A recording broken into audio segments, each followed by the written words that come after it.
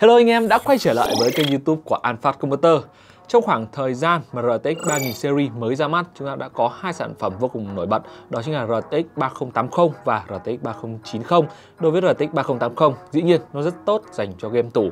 Tuy nhiên khi chuyển sang RTX 3090 thì câu chuyện đó lại hơi khác một chút, bởi vì RTX 3090 mặc dù có một lượng CUDA rất lớn và cái xung nhịp rất cao để phù hợp cho vấn đề chơi game. Tuy nhiên, cái lượng VRAM lên đến tận 24GB VRAM thì lại hơi thừa dành cho game thủ hầu hết các tựa game các bạn chơi trên độ phân giải 4K thì đều không thể nào tận dụng hết 24GB VRAM đó mà các bạn phải làm việc.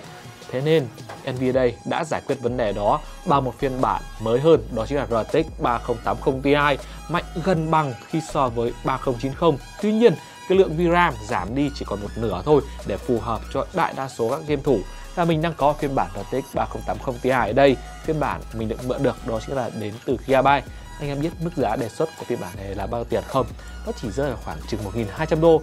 Tuy nhiên thì trong cái thời điểm hiện tại thì cái mức giá bán lẻ ở Việt Nam sẽ rơi vào khoảng chừng 58 tới 59 triệu đồng hoặc có thể hơn đối với phiên bản cao cấp.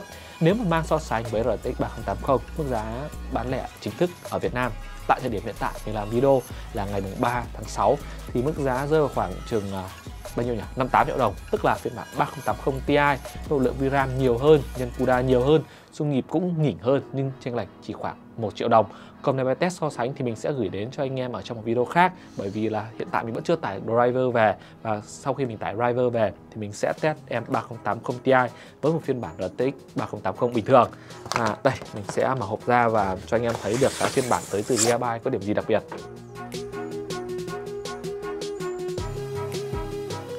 Và đây là phiên bản RTX tới từ Gigabyte. Anh em nhìn thấy đây đây là một thiết kế vô cùng quen thuộc. Chúng ta sẽ có tổng cộng là ba quạt. Đó, và một cánh quạt ở giữa sẽ quay ngược chiều. Tuy nhiên, ba cánh quạt đây thì sẽ có một cánh quạt nhỏ ở đây. Hai cánh quạt to và một cánh quạt nhỏ. Điều này thì sẽ không ảnh hưởng gì tới cái khả năng tản nhiệt của hệ thống, mà ngược lại còn giúp hệ thống tản nhiệt được một cách tốt hơn. Còn về phần à, thiết kế thì à, ở phần miếng backplate đây sẽ được làm từ kim loại làm từ kim loại luôn, kiểu cực kỳ mát lạnh. Và miếng nhuộm không quá dày đâu, có một độ dày gọi là vừa phải. Còn ở mặt chỗ phía phía cánh quạt đây, việc làm từ nhựa. Và nhựa đây nhựa cứng và không hề có hiện tượng ọp ẹp. Và khi mình bóp vào mình không thấy bất kỳ một hiện tượng ọp ẹp nào. Nó mấy triệu à? Nó phải xịn, đúng không? Còn về khả năng cấp nguồn thì mình sẽ nhìn được ở đây là hai cổng cấp nguồn 8 pin. Thế nên bộ nguồn đề xuất yêu cầu sẽ rơi khoảng chừng là 700W công suất thực là đã có thể gánh tốt em này rồi. Anh em nào có bộ nguồn lớn hơn cắm đa cả đồ họa thì có thể cân nhắc những bộ nguồn lên khoảng 1200W thì sẽ là phù hợp nhất. Và cái bảng mạch của hệ thống nó không dài đến tận đây đâu, cái nối dài ra tận đây. Đây là do Gigabyte đã sử dụng những cái dây nối dài nối cái bảng mạch chỉ đến đây này. Chỉ khoảng 2 phần 3 chiều dài của cạc thôi.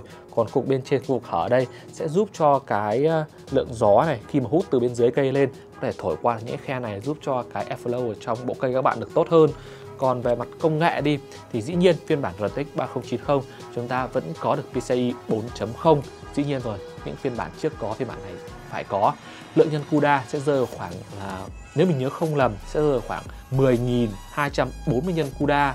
Lượng nhân RT Core sẽ được giảm một chút khi so với phiên bản RTX 3090 Tuy nhiên thì theo như mình ấy, cái việc giảm đi một chút đấy sẽ không hề đáng kể. Và phiên bản này đã được hỗ trợ đến từ NVIDIA cái việc liên quan đến đào coi bị giảm xuống một chút. Anh em có thể nghe đến cái thời mà ra phiên bản RTX 3080 hay là 30 à, 3060 chứ. Thì Nvidia đây cũng đã có nói rằng là phiên bản của họ sẽ giảm khả năng đào coi. Tuy nhiên bằng một cách vô tình cố ý nào đó Nvidia đã để lộ ra hoặc là để vô tình thôi. Cái driver hỗ trợ kiểu là mở khóa đào coi bị lộ ra trên trang chủ và các bác sư Trung Hoa đã tải về và sử dụng.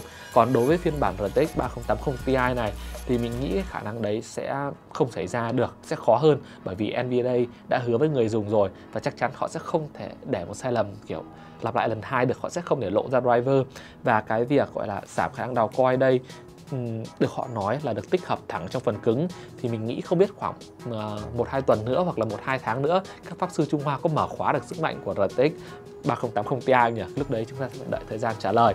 Còn hiện tại thì à, việc khóa khả năng đào coi đây sẽ giúp cho game thủ à, dễ dàng sở hữu được những cái phiên bản RTX 3080 Ti. Và một tin mừng nữa, đó chính là những phiên bản thấp hơn, ví dụ như kiểu là RTX 3080 sắp tới cũng sẽ được một phát hành phiên bản tương tự, tức là đã giảm khả năng đào coi ở ngay trong phần cứng lẫn phần mềm. Thì đấy là một tin mừng dành cho anh em game thủ chúng ta mà. Còn về phần bài test nhiệt độ đi còn bởi vì hiện tại mình chưa có driver, việc mình cắm vào mình Pro Max sẽ không thể nào phản ánh được chính xác cái nhiệt độ của RTX 3080 Ti được. Thế nên chúng ta sẽ hẹn gặp nhau ở trong video test nhé hẹn lại các bạn ở trong video đấy. Xin cảm ơn tất cả các bạn đã theo dõi hết video này và nếu như có thắc mắc về bất kỳ sản phẩm hay chương trình khuyến mại nào thì đường link tư vấn miễn phí cũng như là mua hàng mình sẽ để ngay dưới phần mô tả của video. Và nếu chưa đủ tiền để rước em nó về, đừng quên là ăn phát có trả góp 0%. Nhớ like, share cũng như subscribe và để lại ý kiến của mình dưới phần bình luận nhé. Hẹn gặp lại mọi người trong những video tiếp theo.